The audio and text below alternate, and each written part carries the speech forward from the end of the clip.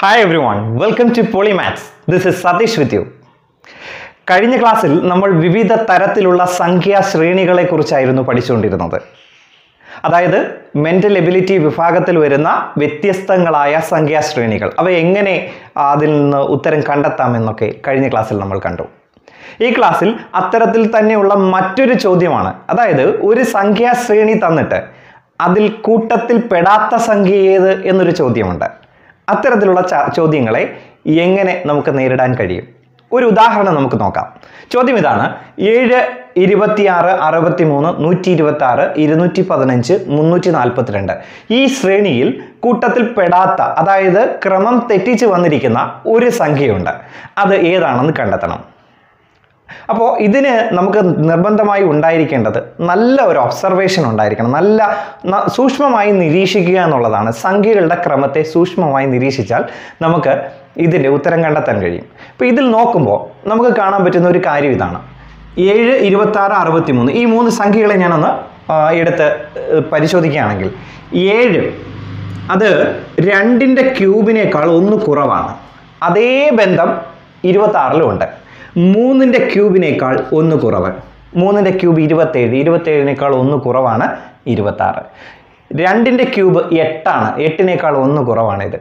ഇനി ഈ ബന്ധം ഇവിടെ ഉണ്ടോ നോക്കാം.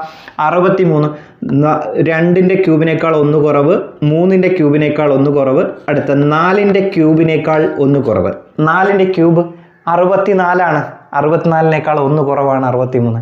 അപ്പോൾ എന്താണ് ആ ബന്ധമെന്ന് നമുക്ക് കിട്ടി. ഈ ബന്ധം എല്ലാ സംഖ്യകളിലും ഉണ്ടോ എന്നുള്ളതാണ് ഇവിടെ പ്രശ്നം. ഇല്ലാത്തത് ഏതാണോ വെച്ചാൽ അതാണ് നമുക്ക് കണ്ടുപിടിക്കേണ്ടത്.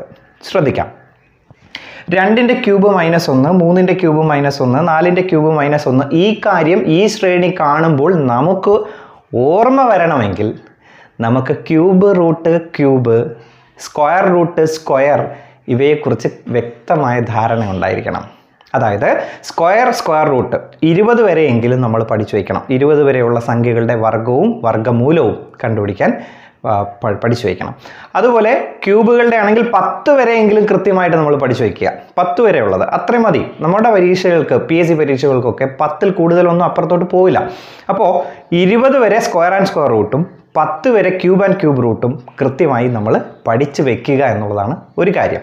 ഇനി ഞാൻ ഒരു കാര്യം കൂടെ കാണിച്ചു തരാം. ഈ ക്യൂബുകളുടെ സീക്വൻസ് ഇതായി ഇങ്ങനെ വരിക. ഒന്നിന്റെ ക്യൂബ് ഒന്ന് തന്നെ രണ്ടിന്റെ ക്യൂബ് എട്ട് മൂന്നിന്റെ ക്യൂബ് ആണെങ്കിൽ ഇരുപത്തിയേഴാണ് നാലിന്റെ ക്യൂബ് ആണെങ്കിൽ അറുപത്തി നാലാണ് ഇങ്ങനെ അങ്ങോട്ട് അഞ്ചിന്റെ ആണെങ്കിൽ നൂറ്റി ഇരുപത്തി അഞ്ചാണ് ഇപ്പോൾ ഇതുപോലെ അങ്ങോട്ട് പോയിക്കൊണ്ടിരിക്കുക. അപ്പോൾ ഈ ക്യൂബ് ക്യൂബുകളുടെ സീരീസ് നമ്മുടെ മനസ്സിലുണ്ടെങ്കിൽ അത് മനസ്സിൽ ഉള്ളത് കൊണ്ട് ഇത് കാണുമ്പോൾ നമുക്ക് പെട്ടെന്ന് ആ അത് അതിനേക്കാളും ഒന്ന് കുറവാണ് എന്ന ഓർമ്മ കിട്ടും. അപ്പോൾ അതിന് ഈ കാര്യം നമ്മൾ വ്യക്തമായിട്ട് പഠിക്കണം എന്നുള്ളതാണ് വസ്തുത. ശരി ഇപ്പോൾ ഇവിടെ കാര്യത്തിലേക്ക് വരാം. രണ്ടിന്റെ ക്യൂബിനേക്കാൾ ഒന്ന് കുറവ് മൂന്നിന്റെ ക്യൂബിനേക്കാൾ ഒന്ന് കുറവ് ഇത് നാലിന്റെ ക്യൂബിനേക്കാൾ ഒന്ന് കുറവ് എങ്കിൽ അടുത്തത് അഞ്ചിന്റെ ക്യൂബിനേക്കാൾ ഒന്ന് കുറവായിരിക്കണം. അഞ്ചിന്റെ ക്യൂബ് നൂറ്റി ഇരുപത്തഞ്ചാണ് നൂറ്റി ഇരുപത്തഞ്ചിനേക്കാൾ ഒന്ന് കുറവ് നൂറ്റി ഇരുപത്തിനാലാണ് അടുത്ത ടൈം. നൂറ്റി ഇരുപത്തിനാലാണോ ഇവിടെ വന്ന ടൈം? അല്ല. നൂറ്റി ഇരുപത്തിനാല് വരേണ്ടടുത്ത് നൂറ്റി ഇരുപത്തി ആറ് വന്നു. അപ്പോൾ തെറ്റായിട്ടുള്ള ആളാരാണ്? നൂറ്റി ഇരുപത്തി ആറ് അപ്പോൾ ഓഡ്മാൻ അതിന് ഇതിനകത്ത് കൂട്ടത്തിൽപ്പെടാത്ത ആൾ നൂറ്റി ഇരുപത്തി ആറ് ആണ് എന്ന് കിട്ടും. ഇനി ഇതേ ബന്ധം അപ്പുറത്തുണ്ടോ എന്ന് വേണമെങ്കിൽ നമുക്ക് നോക്കാം. അഞ്ചിന്റെ ക്യൂബ് മൈനസ് ഒന്ന് അടുത്ത ആറിന്റെ ക്യൂബ് മൈനസ് ഒന്ന് എന്നാണ് വരേണ്ടത്. ആറിന്റെ ക്യൂബ് മൈനസ് ഒന്ന് ഇരുന്നൂറ്റി ഇപ്പം ഇരുന്നൂറ്റി പതിനാറാണ് ആറിന്റെ ക്യൂബ്. അതിനേക്കാൾ ഒന്ന് കുറവാണ് ഇരുന്നൂറ്റി പതിനഞ്ച്. കറക്റ്റായിട്ടുണ്ട് അപ്പോൾ ആ ക്രമം പാലിക്കുന്നുണ്ട് അങ്ങോട്ട്. അപ്പോൾ കൂട്ടത്തിൽ പെടാതായിട്ട് വന്നത് നൂറ്റി ഇരുപത്തിയാറ് തന്നെയാണ്. ഉത്തരം നൂറ്റി ഇരുപത്തി ആറ് അപ്പോൾ ഇതുപോലുള്ള ചോദ്യങ്ങളും പലപ്പോഴും പരീക്ഷകളിൽ കാണാറുണ്ട്. അപ്പോൾ കഴിഞ്ഞ ക്ലാസ്സിലും ഈ ക്ലാസ്സിലുമായിട്ട് നമ്മൾ പഠിച്ച വ്യത്യസ്തങ്ങളായ സംഖ്യാ ശ്രേണികളെ സംബന്ധിക്കുന്ന കുറച്ച് ചോദ്യങ്ങളും കൂടി നമുക്കൊന്ന് ചെയ്തു നോക്കാം. അപ്പോൾ ഒന്നാമത്തെ ചോദ്യം ഒന്നാമത്തെ ചോദ്യം ഇതാണ്. ഒന്ന് മൂന്ന് ഏഴ് പതിനഞ്ച് മുപ്പത്തൊന്ന് അറുപത്തി മൂന്ന് തൊട്ടടുത്ത് വരുന്ന നമ്പർ ഏതാണ്? ഒന്ന് മൂന്ന് ഏഴ് പതിനഞ്ച് മുപ്പത്തൊന്ന് അറുപത്തി മൂന്ന് ഓപ്ഷൻസ് നൂറ്റി ഇരുപത്തിനാല് ബി നൂറ്റി ഇരുപത്തി ആറ് സി നൂറ്റി മുപ്പത്തൊന്ന് ഡി നൂറ്റി ഇരുപത്തി ഏഴ് ഇതിലേതായിരിക്കും ഇവിടെ അറുപത്തി മൂന്നിന് ശേഷം വരിക എന്നാണ് കണ്ടുപിടിക്കേണ്ടത്. നോക്കാം. ആദ്യം നമുക്ക് സീക്വൻസ് ഇങ്ങോട്ടൊന്ന് എഴുതാം. ഒന്ന് മൂന്ന് ഏഴ് പതിനഞ്ച് മുപ്പത്തി ഒന്ന് അറുപത്തി മൂന്ന് ഇനി അടുത്തതാണ് നമുക്ക് കണ്ടെത്തേണ്ടത്.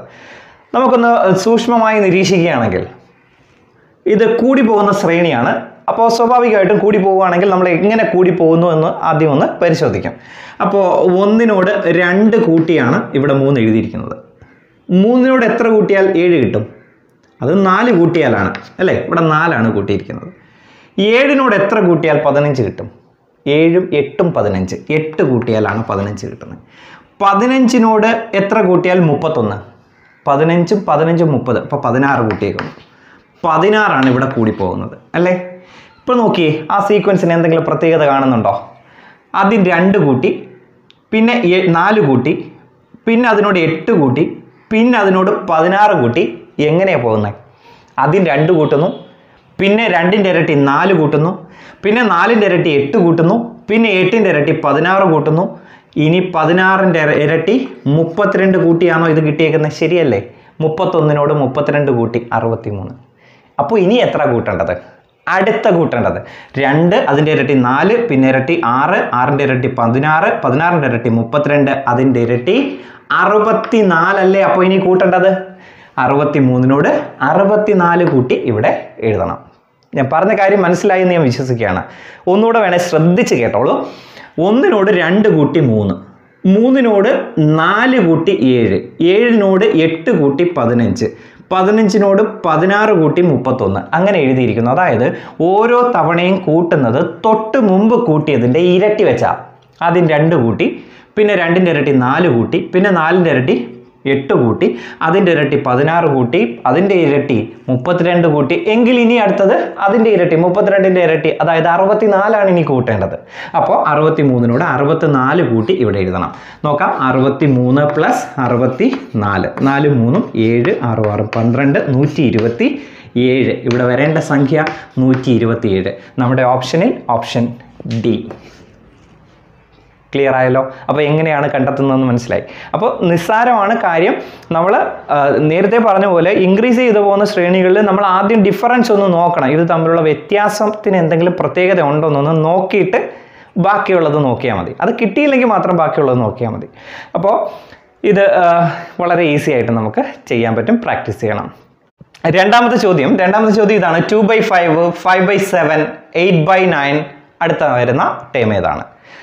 ഇവിടെ ഫ്രാക്ഷൻസ് ആണ് തന്നിരിക്കുന്നത്. അടുത്ത വരുന്ന ഒരു നമ്പർ ഉണ്ട്. അത് ഏതാണെന്ന് നമുക്ക് കണ്ടുപിടിക്കണം. ഓപ്ഷൻ പതിനൊ പതിനൊന്ന് ബൈ പത്ത് ബി ഒന്ന് സി പത്ത് ബൈ പതിനൊന്ന് ഡി പന്ത്രണ്ട് ബൈ പതിനൊന്ന്. ഇതിലേതായിരിക്കും അവിടെ വരിക? വളരെ എളുപ്പത്തിൽ കണ്ടുപിടിക്കാൻ പറ്റും. ഇവിടെ ഈ ഫ്രാക്ഷൻസ് ഒക്കെ വരുമ്പോൾ അവർ എന്തെങ്കിലും പ്രത്യേകതകൾ അതിനകത്ത് ഒളിപ്പിച്ച് വെച്ചിട്ടുണ്ടായിരിക്കും. ഇവിടുത്തെ പ്രത്യേകത എന്താണെന്ന് നമുക്കൊന്ന് നോക്കാം. ശ്രദ്ധിച്ച് കേട്ടോ. ഈ ടു ഫൈവ് എയ്റ്റ് അതായത് ന്യൂമറേറ്ററുകൾ മാത്രം ഞാൻ ഇങ്ങോട്ട് എടുത്തു. ന്യൂമറേറ്ററുകൾ മാത്രം. ടു ഫൈവ് എയ്റ്റ് ഇതിന് എന്തെങ്കിലും പ്രത്യേകതയുണ്ടോ രണ്ടിനോട് മൂന്ന് കൂട്ടി അഞ്ച്. അഞ്ചിനോട് മൂന്ന് കൂട്ടി എട്ട്. അപ്പോൾ മൂന്ന് വീതം കൂടി കൂടി പോവുക. ഇങ്ങനെ പോവുകയാണ്. ഇതാണ് യഥാർത്ഥ ബന്ധമെങ്കിൽ ഇതിനടുത്ത് വരേണ്ടത് എട്ടിനോട് മൂന്ന് കൂട്ടി പതിനൊന്ന് വരണം. ശരിയല്ലേ? അഞ്ചിന് രണ്ടിനോട് മൂന്ന് കൂട്ടി അഞ്ച് അഞ്ചിനോട് മൂന്ന് കൂട്ടി എട്ട്. ഇനി എട്ടിനോട് മൂന്ന് കൂട്ടി പതിനൊന്നാണ് ഇവിടെ വരേണ്ടത്. ഓക്കെ അപ്പോൾ ഇത് ന്യൂമറേറ്ററിനെ മാത്രം എടുത്ത് നോക്കിയപ്പോഴാണ് ഡിനോമിനേറ്ററിനെ ഒന്ന് എടുത്ത് നോക്കിയേ. അഞ്ച് ഏഴ് ഒൻപത്. ഇങ്ങനെയല്ല ഡിനോമിനേറ്റർ ഇവിടെ എന്താ പ്രത്യേകത? അഞ്ചിനോട് രണ്ട് കൂട്ടി ഏഴ്. ഏഴിനോട് രണ്ട് കൂട്ടി ഒൻപത്. ഇത് കൃത്യമാണെങ്കിൽ അടുത്ത വരേണ്ടത് ഒൻപതിനോട് രണ്ട് കൂട്ടി പതിനൊന്ന്. ശരിയല്ലേ? ഒൻപത് പ്ലസ് രണ്ട് പതിനൊന്ന്. അപ്പോൾ എങ്ങനെ വരണം? പതിനൊന്ന് ബൈ പതിനൊന്നെന്നാണ് വരേണ്ടത്. പതിനൊന്ന് ബൈ പതിനൊന്ന് എന്ന് പറയുന്ന ഓപ്ഷൻ ഇതിനകത്തുണ്ടോ? ഇല്ല. പക്ഷെ നമുക്കറിയാം പതിനൊന്ന് ബൈ പതിനൊന്ന് എന്ന് പറഞ്ഞാൽ ഒരു സംഖ്യ അതേ സംഖ്യ കൊണ്ട് ഹരിച്ചാൽ കിട്ടുന്നത് ഒന്നാണ്. പതിനൊന്ന് ബൈ പതിനൊന്ന് ഒന്ന്. ഒന്ന് ഇതിനകത്തുണ്ടോ? ഉണ്ട്. ബി ഇതാണ് ശരി ഉത്തരം. വളരെ നിസ്സാരമാണ്. ഇവിടെ എത്ര വീതം കൂടി കൂടി പോകുന്നു? രണ്ടിനോട് മൂന്ന് കൂട്ടി അഞ്ച്. അഞ്ചിനോട് മൂന്ന് കൂട്ടി എട്ട്. അപ്പോൾ എട്ടിനോട് മൂന്ന് കൂട്ടി പതിനൊന്ന്. അഞ്ചിന്റെ കൂടെ രണ്ട് കൂട്ടി ഏഴ്. ഏഴിനോട് രണ്ട് കൂട്ടി ഒൻപത്. ഒൻപതിനോട് രണ്ട് കൂട്ടിയാൽ പതിനൊന്ന്. അപ്പോൾ ഉത്തരം പതിനൊന്ന് ബൈ പതിനൊന്ന് എന്നാണ് വരേണ്ടത്. പതിനൊന്ന് ബൈ പതിനൊന്ന് എന്ന് പറഞ്ഞാൽ എത്രയാണ്? ഒന്നാണ്. ഇവിടെ ഒന്ന്. ഓപ്ഷൻ ബി ആണ് ശരിയായിട്ടുള്ള ഉത്തരം. നിസ്സാരമായിട്ട് നമുക്കിത് ചെയ്യാൻ പറ്റുന്ന ഒരു ചോദ്യമാണ്. അടുത്തതൊരു നല്ല ചോദ്യമാണ്. ചോദ്യം ഇതാ. മൂന്ന് ആറ് ഒൻപത് പതിനെട്ട് ഇരുപത്തേഴ് അൻപത്തിനാല് കഴിഞ്ഞ് അടുത്ത വരുന്ന ടേം ഏതാണ്? ഓപ്ഷൻ എ എൺപത്തൊന്ന് ബി അറുപത്തൊൻപത് സി അറുപത്തി മൂന്ന് ഡി അൻപത്തി ഏഴ് ഏതായിരിക്കും ശരി ഉത്തരം? ചെയ്ത് നോക്കാം. നമ്മുടെ സീക്വൻസ് മൂന്ന് ആറ് ഒൻപത് പതിനെട്ട് ഇരുപത്തിയേഴ് അൻപത്തി നാല് ഓക്കെ നമ്മൾ ഇത് കൂടി കൂടി പോകുന്നു. അപ്പോൾ നമുക്ക് ഡിഫറൻസ് എത്ര വീതമാണ് കൂടുന്നതെന്ന് നമുക്കൊന്ന് നോക്കിയേക്കാം. മൂന്നിന്റെ കൂടെ ഇവിടെ മൂന്ന് കൂട്ടിയിട്ടു. ആറിന്റെ കൂടെ മൂന്ന് കൂട്ടി ഒൻപത്. ഒൻപതിന്റെ കൂടെ ഒൻപത് കൂട്ടി പതിനെട്ട്. പതിനെട്ടിന്റെ കൂടെ ഒൻപത് കൂട്ടി ഇരുപത്തിയേഴ്. ശരിയല്ലേ? ഇരുപത്തിയേഴിന്റെ കൂടെ ഇരുപത്തേഴ് കൂട്ടി അൻപത്തിനാല്. ഇനി അടുത്തത് എത്ര? എന്തെങ്കിലും ബന്ധം കാണാൻ പറ്റുന്നുണ്ടോ? കാണാം തീർച്ചയായിട്ടും. മൂന്നിനോട് മൂന്ന് കൂട്ടി ആറ്. വീണ്ടും ഒരു മൂന്ന് കൂടെ കൂട്ടി അടുത്ത ടൈം. അടുത്ത ഒൻപത് കൂട്ടി ഒരു ടൈം പിന്നെ ഒൻപത് കൂട്ടി ഒരു ടൈം. അടുത്ത ഇരുപത്തേഴ് കൂട്ടി ഒരു ടൈം ഇനി അടുത്തത് എത്ര കൂട്ടേണ്ടത്? മൂന്ന് രണ്ട് പ്രാവശ്യം കൂട്ടിയിട്ടുണ്ട്. ഒൻപത് രണ്ട് പ്രാവശ്യം കൂട്ടിയിട്ടുണ്ട്. ഇവിടെ ഇരുപത്തേഴ് ഒരു പ്രാവശ്യം കൂട്ടിയിട്ടുള്ളൂ. ഇനി അടുത്തത് ഒരെണ്ണം?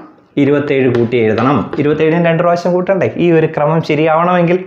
അപ്പോൾ അമ്പത്തിനാലിനോട് ഇരുപത്തിയേഴ് കൂട്ടുന്നു. അൻപത്തിനാല് പ്ലസ് ഇരുപത്തിയേഴ്. ഏഴും മൂന്നും പത്തൊന്നും പതിനൊന്ന്. അഞ്ച് ആറ് ഏഴ് ഒന്ന് എട്ട് എൺപത്തി ഒന്ന് ഉത്തരം എൺപത്തി ഒന്ന് എൺപത്തി ഒന്ന് ഓപ്ഷൻ എ ആണ് ശരിയായിട്ടുള്ള ഉത്തരം. അപ്പോൾ ഇത് ചെയ്ത് എങ്ങനെയാണെന്ന് ഒന്നുകൂടെ നോക്കാം. ഇവിടെ ഡിഫറൻസ് മൂന്നാണ് ഇവിടെയും ഡിഫറൻസ് മൂന്നാണ്. അടുത്ത ഡിഫറൻസ് ഒൻപതാണ് അടുത്ത ഡിഫറൻസും ഒൻപതാണ്. അതിനടുത്ത ഡിഫറൻസ് ഇരുപത്തിയേഴ് അപ്പോൾ അടുത്തതും ഇരുപത്തിയേഴ് വരണം. കാരണം രണ്ട് പെയറായിട്ടാണ് ഇത് വന്നേക്കുന്നത്. മൂന്നും മൂന്നും കൂട്ടി അടുത്തത് ഒൻപത് ഒൻപതും കൂട്ടി അടുത്തത് ഇരുപത്തേഴ് ഇരുപത്തേഴും ആയിരിക്കണം. അല്ലേ? അതുകൊണ്ട് ഇരുപത്തേഴെന്ന് കൂട്ടി നമ്മൾ എൺപത്തി ഒന്നെന്ന് ഉത്തരം എഴുതി ക്ലിയർ അല്ലേ? അപ്പോൾ ഇത് ചെയ്യാൻ പറ്റുന്നതേ ഉള്ളൂ. അപ്പോൾ ഡിഫറൻസ് നോക്കിക്കൊണ്ട് നമുക്ക് ഇത്തരത്തിലുള്ള പ്രോബ്ലങ്ങളിൽ പലതും ചെയ്യാൻ പറ്റും. പ്രാക്ടീസ് ചെയ്യാം. മറ്റൊരു ചോദ്യം കൂടി നോക്കാം. ചോദ്യം ഇതാണ്. പൂജ്യം മൂന്ന് എട്ട് പതിനഞ്ച് അടുത്ത നമ്പർ ഏത്? ഓപ്ഷൻ ഇരുപത്തി മൂന്ന് ഇരുപത്തിനാല് ഇരുപത്തഞ്ച് ഇരുപത്. ഏതായിരിക്കും ശരി ഉത്തരം? നോക്കാം. പൂജ്യം മൂന്ന് എട്ട് പതിനഞ്ച് ഡാഷ് പൂജ്യം. കൂടി കൂടി പോകുന്നു. നമ്മൾ എത്ര വീതം കൂടുന്നൊന്ന് മാറ്റി എഴുതുന്നു. ഇവിടെ പൂജ്യത്തിനോട് മൂന്ന് കൂട്ടി മൂന്ന് എഴുതി. മൂന്നിനോട് അഞ്ച് കൂട്ടിയാലാണ് എട്ട് കിട്ടുന്നത്. ശരിയല്ലേ? എട്ടിനോട് ഏഴ് കൂട്ടിയാലാണ് പതിനഞ്ച് കിട്ടുന്നത്. എട്ടും ഏഴും പതിനഞ്ച്. ഏഴ് കൂട്ടി. നോക്ക് എന്തെങ്കിലും പ്രത്യേകത കാണുന്നുണ്ടോ? ഉണ്ട്. മൂന്ന് അഞ്ച് ഏഴ്. ഏത് ശ്രേണി? ഒന്ന് മൂന്ന് അഞ്ച് ഏഴ് ഒൻപത് എക്സെട്ര ഏത് ശ്രേണി? ഒറ്റ സംഖ്യകൾ അപ്പോൾ ഒന്നില്ല ഇവിടെ. മൂന്ന് അഞ്ച് ഏഴ് കഴിഞ്ഞാൽ അടുത്ത വരേണ്ടത് ഒൻപത്. ഒൻപത് കൂട്ടി എഴുതുന്നു. ഒൻപത് കൂട്ടിയാണ് അവിടെ പോകേണ്ടത്. അപ്പോൾ പതിനഞ്ചിന്റെ കൂടെ ഒൻപത് കൂട്ടി ഇരുപത്തി നാല് എന്ന് വരും. ഇരുപത്തിനാല് ഓപ്ഷനിലുണ്ടോ നോക്ക്? ഉണ്ട്. ഓപ്ഷൻ ബി ഇതാണ് ഉത്തരം. വളരെ നിസ്സാരമായിട്ട് നമുക്കിത് ചെയ്യാൻ പറ്റും. സെക്കൻഡുകൾ കൊണ്ട് ആൻസറിൽ എത്താൻ പറ്റും. ഒരു ചോദ്യം കൂടി. ചോദ്യം ഇതാണ്. ഒന്ന് മൂന്ന് ഏഴ് പതിനഞ്ച് മുപ്പത്തി ഒന്ന് അടുത്ത നമ്പർ ഏതാണ്? ഓപ്ഷൻസ് നാൽപ്പത്തി മൂന്ന് അൻപത്തി മൂന്ന് അറുപത്തി മൂന്ന് അറുപത്തി നാല് ഏതായിരിക്കും ശരി ഉത്തരം? എളുപ്പം ചെയ്യാം. നോക്കാം. ഒന്ന് മൂന്ന് ഏഴ് പതിനഞ്ച് മുപ്പത്തി ഒന്ന് അടുത്തത് കണ്ടെത്തണം. നമുക്ക് കൂടി കൂടി പോകുന്ന ഒരു ശ്രേണിയാണ് എത്ര വീതം കൂടുന്നു എന്ന് നോക്കിയേക്കാം. ഇവിടെ രണ്ട് കൂടുന്നുണ്ട്. ഇവിടെ നാലിൻ മൂന്നിന്റെ കൂടെ നാല് കൂടുമ്പോഴാണ് ഏഴ്. ഏഴിന്റെ കൂടെ എട്ട് കൂടിയാൽ പതിനഞ്ച്. പതിനഞ്ചിന്റെ കൂടെ പതിനാറ് കൂടിയാൽ മുപ്പത്തിയൊന്ന്. ശരിയല്ലേ? എങ്ങനെയാണ് പോകുന്നത് കൂടി പോകുന്നതിന് എന്തെങ്കിലും പ്രത്യേകതയുണ്ടോ? തീർച്ചയായിട്ടും ഉണ്ട്. എന്താണ് പ്രത്യേകത? ആദ്യം രണ്ട് കൂടുന്നു. രണ്ടിന്റെ ഇരട്ടി നാല് കൂടുന്നു. നാലിന്റെ ഇരട്ടി എട്ട് കൂടുന്നു. എട്ടിന്റെ ഇരട്ടി പതിനാറ് കൂടുന്നു. എങ്കിൽ അടുത്ത കൂടേണ്ടത് പതിനാറിന്റെ ഇരട്ടിയായ മുപ്പത്തിരണ്ടാണ് കൂടേണ്ടത്. ശരിയല്ലേ? അപ്പോൾ മുപ്പത്തി ഒന്നിനോട് മുപ്പത്തിരണ്ട് കൂടണം. മുപ്പത്തി ഒന്ന് പ്ലസ് മുപ്പത്തിരണ്ട്. മൂന്ന് മൂന്ന്. മൂന്ന് ആറ്. അറുപത്തി മൂന്ന് എന്ന ഉത്തരം കിട്ടും. ആൻസർ അറുപത്തി മൂന്ന് ഓപ്ഷൻ സി ഇത്രയുള്ളൂ വളരെ നിസ്സാരമായിട്ട് നമുക്കിത് ചെയ്യാൻ പറ്റും. അപ്പോൾ പ്രാക്ടീസ് ചെയ്യുക. അപ്പോൾ ഇന്നത്തെ ക്ലാസ്സിൽ നമ്മൾ കണ്ട ശ്രേണികളൊക്കെ നിങ്ങൾക്ക് നന്നായി മനസ്സിലായി എന്ന് ഞാൻ വിശ്വസിക്കുകയാണ്. അങ്ങനെയാണെങ്കിൽ തീർച്ചയായിട്ടും നിങ്ങൾ ഇത് ലൈക്ക് ചെയ്യണം കമന്റ് ചെയ്യണം ഷെയർ ചെയ്യണം. ഒപ്പം പൊളി മാത്സിന്റെ ചാനൽ സബ്സ്ക്രൈബ് ചെയ്തിട്ടില്ലാത്തവർ ഉറപ്പായിട്ടും സബ്സ്ക്രൈബ് ചെയ്യുക. ആ ബെല്ലൈക്കൺ കൂടി ക്ലിക്ക് ചെയ്യാൻ മറന്നു പോകരുത്. അപ്പോൾ കൂടുതൽ പ്രോബ്ലംസുമായിട്ട് അടുത്ത ക്ലാസ്സിൽ നമുക്ക് വീണ്ടും കാണാം. ബൈ